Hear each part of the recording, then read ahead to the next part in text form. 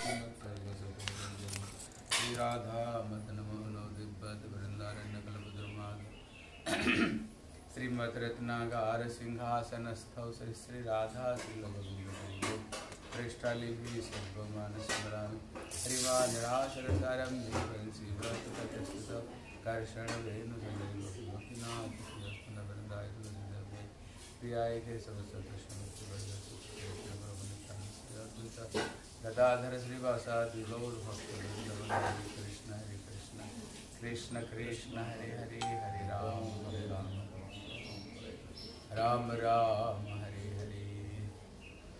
वृंदावन वासी जाता वैष्णवेरगाना प्रथम वंदना करे तवार चरण चलवासी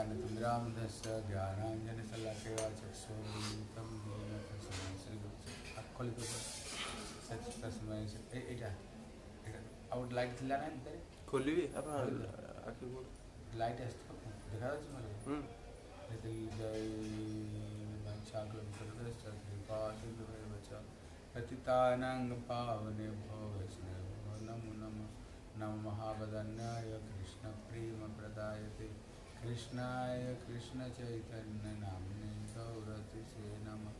हे कृष्ण करुणा सिंधु दीनबंधु जगत्पते। गोपी सर्वविगतान्त श्री राधा कांत नमस्तुते तप्त कांचन गौरांगी राधे वृंदावन वृषभान सुत देवी प्रणमामि हरे प्रिय वृंदाय तुलसी देव्यै प्रियाय केशवस्य च कृष्ण भक्ति देवी सत्यवती नमो श्री कृष्ण चैतन्य प्रभु नित्यानंद श्री अद्वैत गदाधर श्रीवासादि गौर भक्त वृंद बल हरे कृष्ण हरे कृष्ण कृष्ण कृष्ण हरे हरे हरे राम हरे राम। राम राम, हरे हरे। सर्वप्रथम मेरे गुरुपाद पद्म नितिल्लाभ विष्णु विष्णु पाद अष्टोदर सत श्री श्री श्रीमद श्री सिद्धांत गोस्वामी महाराज जी के चरणों कमल में अनंत कोटि साष्टांग दंडवत प्रणाम करता हूँ। तत्पश्चात मेरे शिक्षा गुरुपाद पद्म नितलीला विष्णु विष्णु पाद अष्टोदर सत श्री श्री श्रीमद भक्ति वेदांत श्रीला नारायण गोस्वामी महाराज के चरण सरोज में श्रद्धा पुष्पांजलि अर्पण करता हूँ उपस्थित वैष्णव वैष्णवी सभी को मैं यथा योग्य प्रणाम करता हूँ हरे कृष्ण गत कल हम लोग श्रवण कर रहे थे श्री नारद जी क्यों द्वारका में हर समय रहा करते थे क्योंकि नारद जी को दक्ष प्रजापति ने अभिशाप दिया था तुम एक मुहूर्त से ज़्यादा समय कहीं टीक नहीं सकते हो। लेकिन जो द्वारका था, वो भगवान की हाथ को द्वारा रक्षित। भगवान वहाँ पर कोई दक्ष प्रजापति का अभिशाप वहाँ पर प्रभाव नहीं डाल सकता था। जब नारद जी को ज़्यादा समय कहीं रुकना हो, जाकर के श्री द्वारका में रहते थे। इसलिए अभी हम लोग श्रवण करेंगे भागवत में श्री नेमी नव जोगेंद्र संभाग अभी हम भगवत प्राप्त कैसे करेंगे? इसलिए एकादश स्कंद में भगवत प्राप्ति का उपाय बताया। बोले, एक समय द्वारका में भगवान कृष्णा, वसुदेव महाराज, देवकी, एक बहुत बड़ा यज्ञ का अनुष्ठान किया। जिस यज्ञ का नाम था विश्व शांति महायज्ञ।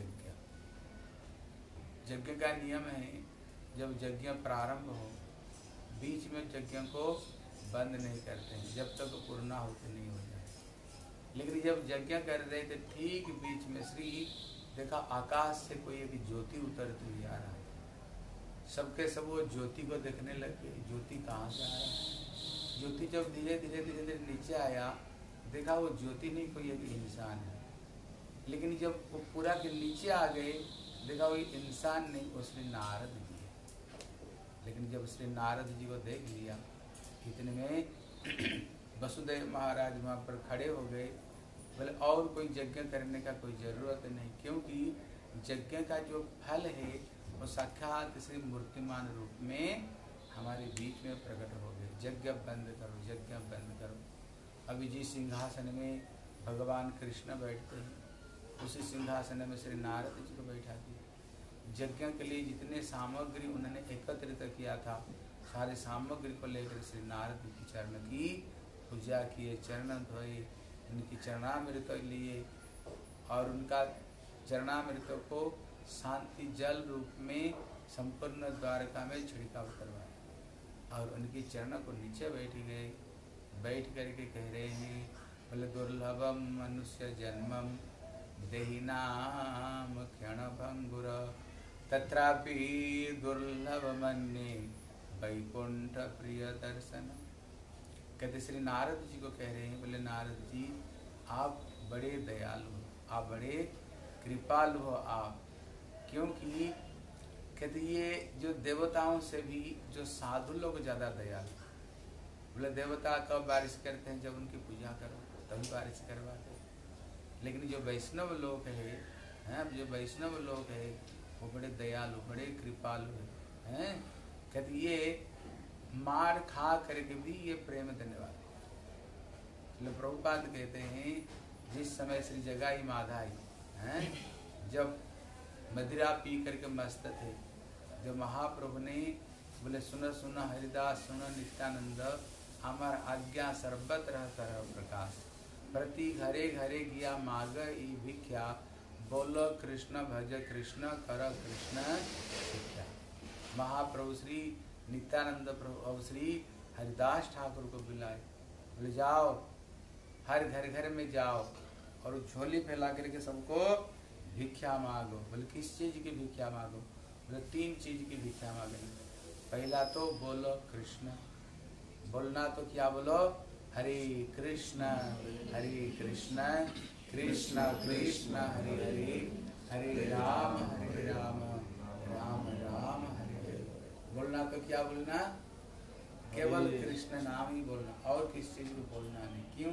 कहते जो कृष्ण जो शब्द है ये शब्द ब्रह्म है। अगर जीव को अगर कोई कल्याण कर सकता है भगवान का नाम ही जीव का कल्याण कर सकता है और कोई चीज़ जीव का कल्याण नहीं कर सकते है? भगवत नाम। इसलिए बोलना तो सबको कृष्णा बुलवाया करना। भज कृष्ण, अगर भक्ति करना तो किसकी भक्ति करना? बोले, दूसरे दूसरे देवा देवी किसी की भक्ति नहीं करना? भक्ति करना तो किसकी भक्ति करना? भज कृष्ण। बोले, कृष्ण भजन क्यों करेंगे? और किसका भजन हम क्यों नहीं करें? तो श्री सुखदेव गोस्वामी भागवत में कहते हैं, बोले, पुतना लोक बालाग्नि राक्षसी रुधिरासना जिज्ञासया हरे स्तनम तत्व अपसद गति। यहाँ पर कह रहे हैं, कृष्ण इतने दयालु, इतने कृपालु कृष्ण, जब पुतना आई थी ब्रज में, कदे उसके अंदर में चार अपगुण था। पहला नंबर पुतना, जो पवित्र नहीं दूसरे नंबर बच्चों का खून पीती थी, तीसरे नंबर राक्षसी, चौथे नंबर भगवान के लिए क्या उपहार लेकर के आए थे? बोले, जहर बीस लेकिन कृष्ण इतने दयालु, बोले गिन गुण, अवगुण, प्रभु देखो न भगवान किसकी? अपगुण का प्रति नज़र नहीं देते हैं। भगवान उसको कहाँ स्थान दे दिया? भगवान उसको गोलोक वृंदावन में धाई मैया की गति दे दी। तब विश्वनाथ चक्रवर्ती ठाकुर कह रहे हैं, अगर भगवान के लिए कोई जहर लेकर के आए, अगर भगवान उसको गोलोक वृंदावन भेज सकते हैं अगर कोई भगवान के लिए फूल लेकर के आए, एक फल लेकर के आए, नहीं तो उनका प्रिय वस्तु थोड़ा मक्खन मिश्री लेकर के आए, फिर क्या नहीं देंगे? वो पुतना जो अपवित्र है, अगर कोई अपवित्र हो करके अगर भगवान के पास में आते हैं, अगर भगवान गोलोक दे सकते हैं, अगर कोई स्नान करके थोड़ी सी अच्छे कपड़े पहन करके ठाकुर जी के पास में आए, फिर ठाकुर उसको क्या नहीं दे सकते? वो करती थी क्या? हैं? कहते बच्चों का खून पीती थी वो, हैं? बच्चों का खून पीती थी। वो थी राक्षसी। अगर भगवान राक्षसी को अगर इतने बड़े पद दे सकते हैं, अगर कोई इंसान आ जाए, अगर उनका कोई भक्त आ जाए तो फिर भगवान उसको क्या नहीं देते? भगवान उसको क्या नहीं देंगे? इसलिए बोले भज कृष्ण तो किसकी भजन करनी चाहिए? इसलिए कृष्ण का ही भजन करो। इसलिए बोले, हे कृष्ण करुणा सिंधो दीन बंधो जगतपते गोपेश गोपिका कांत राधा कांत नमस्ते भगवान दया के सागर, कृपा के सागर दीन बंधु हैं। भगवान बड़े दयालु, भगवान बड़े कृपालु। इसलिए और कर कृष्ण शिक्षा अगर शिक्षा प्राप्त करना तो किस चीज़ की शिक्षा करे? बोले, कृष्ण शिक्षा करो। क्योंकि ये जगत का जितने डिग्री है ना, ये शरीर छूटते ही सारी डिग्री खत्म हो जाती है। इसलिए महाप्रभु कह रहे हैं एद छाड़िया चली ले, विद्या व पौरस किचु संगे ना चले। ये शरीर छूटते ही जितने तुम्हारे degree M A P H डॉक्टरी कर रहे हो, वो सारी डिग्री यहीं पर खत्म है। बस एक डिग्री वहाँ काम करता है। राम नाम सत्य है और गोपाल नाम सत्य है। सत्य वो लोग हैं, सब कोई बात झूठा है। कहते वहाँ पर कोई डिग्री काम नहीं करता है। जितने तुमने राम का, कृष्ण का नाम लिए हो, बस केवल वही डिग्री वहाँ काम करेगा और कोई डिग्री वहाँ काम नहीं करेगी। इसलिए महाप्रभु ने हरिदास ठाकुर नित्यानंद प्रभु को घर घर घर जाकर भेजते हैं हैं? सबको भगवान की भक्ति प्रदान करो। लेकिन जब जगाई माधाई को देखे, अरे भैया, महाप्रभु का आदेश है, जारे देखो, तारे कहो, कृष्ण उपदेश। बोले, जिसको देखो, उसको ही मेरा आदेश सुनाना, है? भगवान तो सभी के लिए बताए इनके लिए क्यों नहीं? तब उन्होंने जगाई माता बोले, बोलो, हरे कृष्ण। है? बोले, एक बार हरे कृष्ण बोलो। बोले कौन है तुम? वो दोनों पिए कर शराब पी रहे थे ए, कौन है? इतने में बोले, हरे कृष्ण। बोले, हमें हरे कृष्ण बोलने के लिए आए। मारने दौड़े और उन्होंने उठाया मटकी और नित्यानंद प्रभु का सर फोड़ दिया। है? उनका सर फोड़ दिया नित्यानंद प्रभु का। लेकिन महाप्रभु इतने दयालु कहते, मेरे छी कलशी काना ताई बोली की प्रेम भले ही तुमने मेरे सर को फोड़ दिया फोड़ दिया, लेकिन भैया एक बार तो श्री हरे कृष्ण हरे कृष्ण कृष्ण कृष्ण, हरे हरे हरे राम हरे राम राम राम यहाँ पर कह रहे भैया, एक बार तो ठाकुर का नाम ले लो, है? एक बार नाम ले लो, भले ही तुमने मेरे सर फोड़ दिया, इसलिए क्या तुमको क्या प्रेम नहीं दूँगा इसलिए यहाँ पर प्रभुपाद कहते हैं, साधु लोग कितने दयालु, बिना कारण के जो दूसरों के ऊपर में कृपा करते हैं, बल्कि मार खा करके प्रेम देते हैं मार खा करके प्रेम देते हैं। ऐसे श्री महाप्रभु का भक्त, कृष्ण भक्त इतने दयालु हैं। इसलिए जैसे बारिश के देवता लोग जो कृपा करते हैं, बारिश देते हैं। देखना, बारिश तो कुछ स्थान के लिए अच्छा है लेकिन कुछ स्थान के लिए खराब भी है। जैसे बारिश हुई, गेहूँ का खेती हो रही थी, ओले गिरे तो खत्म कर दी है? बहुत सारी खेती को खत्म कर दी हाँ कहीं कहीं पानी का ज़रूरत था, वहाँ पर थोड़ी कहीं अच्छा होगा, लेकिन जहाँ पर खेती हुई वहाँ खत्म। इसलिए कि देवता लोग का जो कृपा है ना, कहीं अच्छा कहीं बुरा होता है। लेकिन जो वैष्णव लोगों का जो कृपा है ना, वो कभी बुरा होता ही नहीं। वो तो बिना कारण के भी जीवों को ऊपर में कृपा करने वाले वैष्णव लोग। इसलिए वैष्णव लोग बड़े दयालु बड़े दयालु।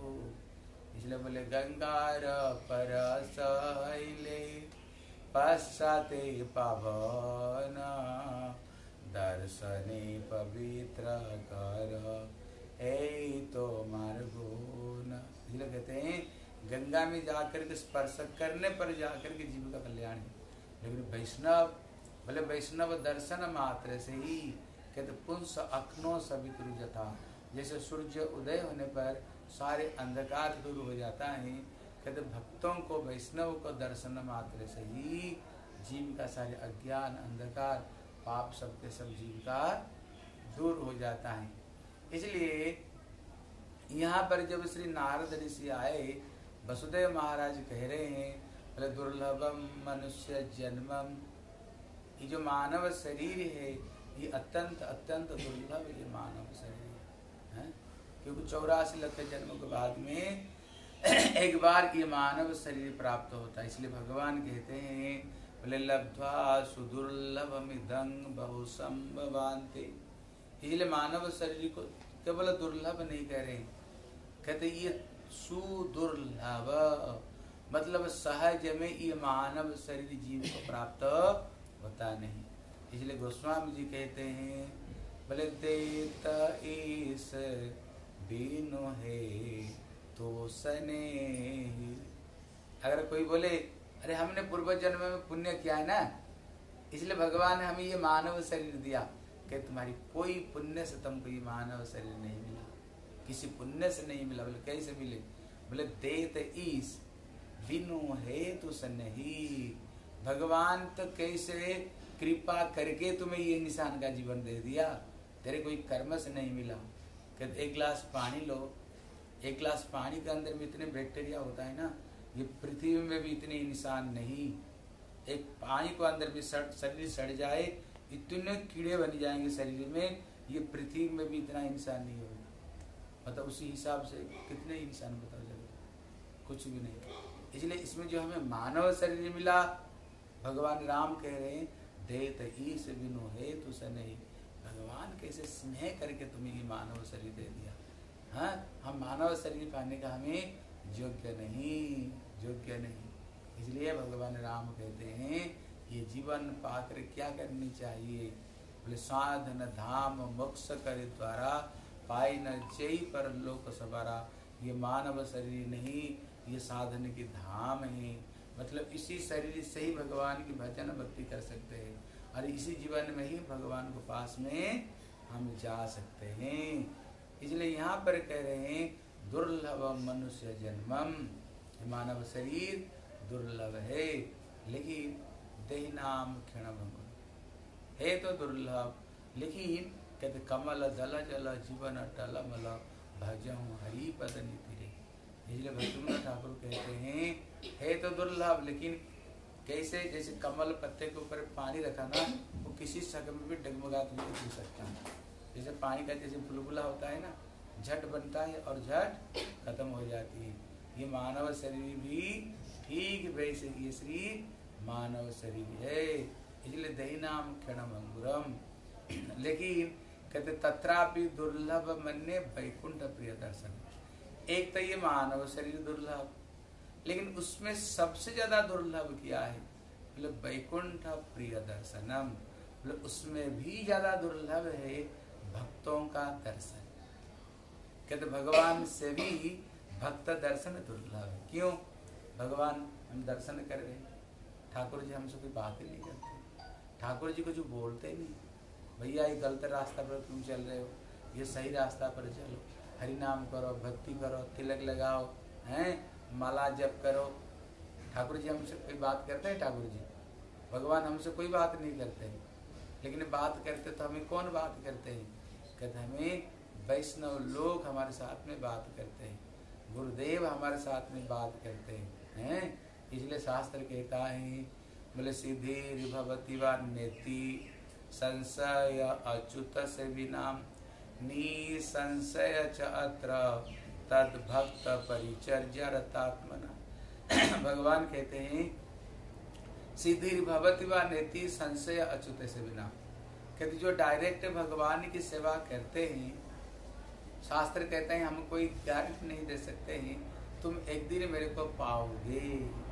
भगवान कहते हैं। कोई गारंटी नहीं दे सकता। हाँ, अगर भगवान को भक्ति पूजा कर तो भगवान तुम्हारी कल्याण नहीं करेंगे। भगवान की कृपा होगा ना, फिर भगवान तुम्हें किसी सुधा साधु को पास में भेजेंगे, किसी भक्तों के पास में भेजेंगे, भैया, वहीं पर जाओ, तुम्हारी कल्याण वही करेंगे। इसलिए श्री ध्रुव महाराज भगवान को आराधना करने पर भी भगवान नहीं आए और नारद जी को भेजे। जाकर तुम मंत्र दो, उनको भक्ति का मार्ग तुम बताओ। जब उन्होंने मंत्र दिया, नारद कृपा से मंत्र प्राप्त की जब उन्होंने भजन की पद्धति बताई, ऐसे यमुना में नहाना, त्रिसंध्या भगवत पूजा करना, ओम नम भगवत वासुदेवाय मंत्र की जप करना, कैसे कैसे। जो उन्होंने पद्धति बताई, जब फिर उन्होंने भजन किया, फिर भगवान आकर के उसको जाकर के दर्शन देते हैं। इसलिए भगवान कहते हैं, जो मेरी डायरेक्ट पूजा करते हैं, मैं कोई गारंटी नहीं दे सकता, तुम मेरे को प्राप्त करोगे। लेकिन निसंशय चत्र तद भक्त परिचर्य रतात्मना। भगवान कहते, मेरे भक्तों का जो पूजा करता है, मेरे भक्तों की जो आराधना करता है, मैं गारंटी दे सकता हूँ, वो मेरे को प्राप्त करेगा ही, वो मेरे को प्राप्त करेगा ही। बोले, क्यों? बोले, भक्त लोग उनको सुधारेंगे। बेटा, सवेरे उठो, तिलक लगाओ हरि नाम करो, तुलसी परिक्रमा करो, गीता पढ़ो, भागवत पढ़ो, जीवन को नष्ट मत करो, जीवन पल पल जो बीत रहा है दो बार जीवन तुम्हें भगवान नहीं देंगे हैं? और दूसरी बात है जब हम भक्तों का संग करते हैं ना तो, तो वो हर समय भगवान की भजन करते भक्ति करते हैं। जब भक्ति करते हैं देखो एक जुआ जुआ जो खेलते हैं उसको साथ में बैठो जुआ खेलने लग जाओगे जो चोरी करते हैं उनका साथ में बगल चोरी करना शुरू कर दोगे।